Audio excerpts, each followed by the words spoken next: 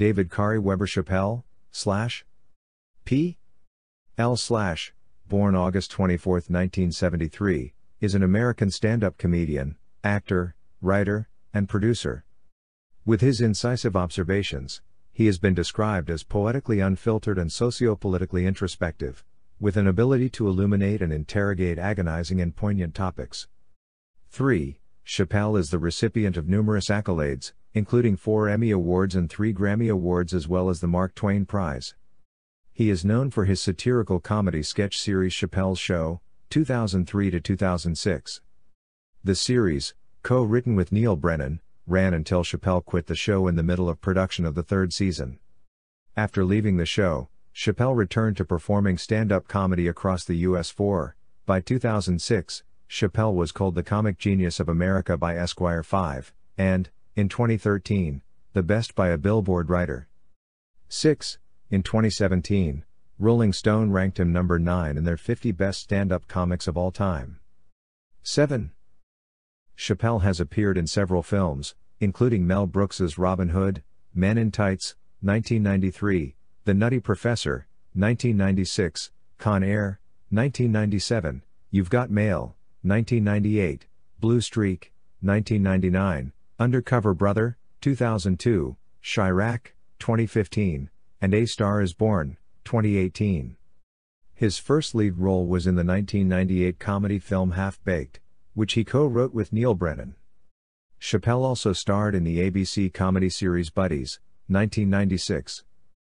In 2016, he signed a $20 million per release comedy special deal with Netflix and, as of 2019, he has released five stand-up specials under the deal. 8.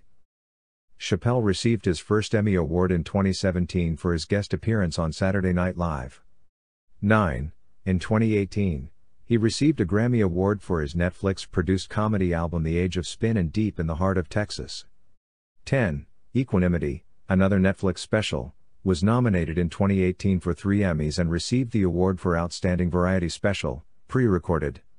In 2019, Chappelle was selected to receive the Mark Twain Prize for American Humor, which is presented by the Kennedy Center as America's highest comedy honor. 11. In 2020, Sticks and Stones earned Chappelle his third consecutive Grammy Award for Best Comedy Album. 12. Dave Chappelle's father, William David Chappelle III, worked as a statistician before becoming a professor at Antioch College in Yellow Springs, Ohio. 13. His mother, Yvonne Seon, née Reed, formerly Chappelle, 14, was a professor at Prince George's Community College.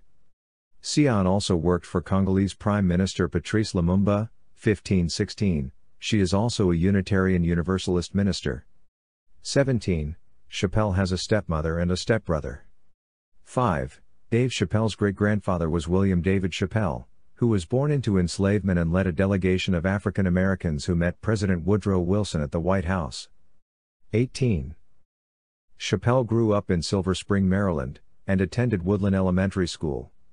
13. His parents were politically active, and family house visitors included Pete Seeger and Johnny Hartman. 5. Hartman predicted Chappelle would be a comedian and, around this time, Chappelle's comic inspiration came from Eddie Murphy and Richard Pryor. After his parents separated, Chappelle stayed in Washington with his mother while spending summers with his father in Ohio. In high school, he worked as an usher in Ford's Theater. 19. In 1991, he graduated from Washington's Duke Ellington School of the Arts, where he studied theater arts. 13.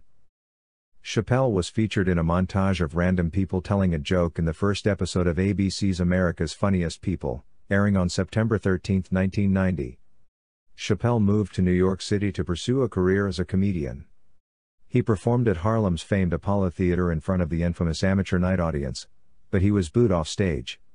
Chappelle described the experience as the moment that gave him the courage to continue his show business aspirations. 13.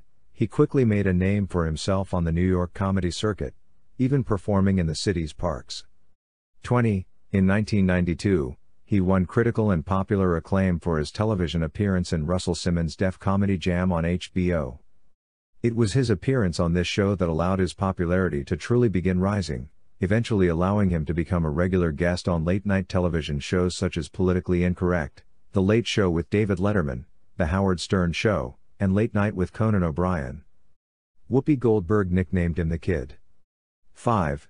At 19, he made his film debut as Ahchoo in Mel Brooks's Robin Hood, Men in Tights.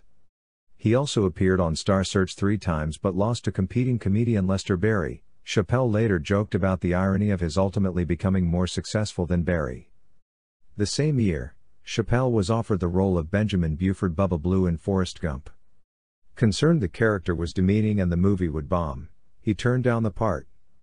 2122, he parodied the film in the 1997 short Bowl of Pork, where a dim witted black man is responsible for the Rodney King beating, the LA riots, and O.J. Simpson being accused of murder. 23. Chappelle played another supporting role in an early Doug Liman film, Getting In, in 1994. 24. At age 19, he was the opening act for R&B soul singer Aretha Franklin. 25. Early in his career, Chappelle was called to perform after comedy veteran Chris Thomas, who was so good that Chappelle, though he had been warned, totally bombed. 26. Chappelle attracted the attention of TV network executives and developed numerous pilots, but none were picked up for development into a series. 1327. In 1995, he made a guest appearance on an episode of ABC's popular sitcom Home Improvement. The storyline had Chappelle and real life friend and comedian Jim Breuer ask Tim Taylor for advice on their girlfriends. 28. The character's single outing in the episode proved so popular that ABC decided to give them their own spin off sitcom titled Buddies. However, after taping a pilot episode, Breuer was fired and replaced with actor Christopher Gartin. Buddies premiered in March 1996 to disappointing ratings and the show was cancelled after only five episodes out of 13 that had been produced. After the failure of Buddies, Chappelle starred in another pilot. According to Chappelle, the network was uncomfortable with the African American cast and wanted white actors added. 29. Chappelle resisted and subsequently accused the network of racism. Shortly afterward, Chappelle's father died, and after returning to Ohio, he considered leaving the entertainment business. 1327. He later appeared as a stand up insult comic who targets patrons of a nightclub in the 1996 comedy The Nutty Professor starring Eddie Murphy, one of his major comedic influences. 30. He had a minor role in 1997's Con Air. 31.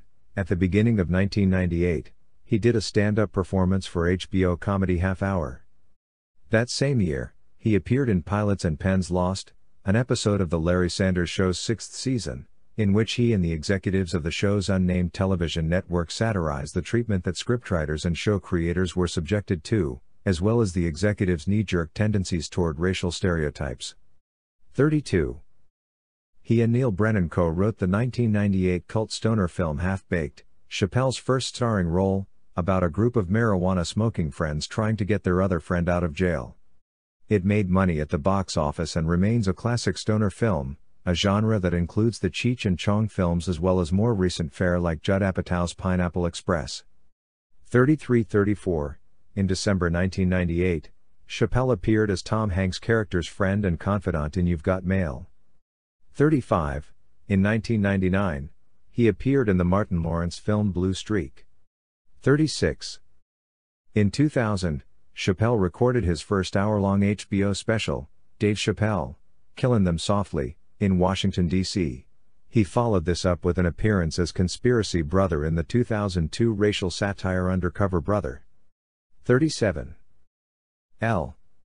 In 2003, Chappelle debuted his own weekly sketch comedy show on Comedy Central called Chappelle's Show. The show parodied many aspects of American culture, including racial stereotypes, politics, and pop culture.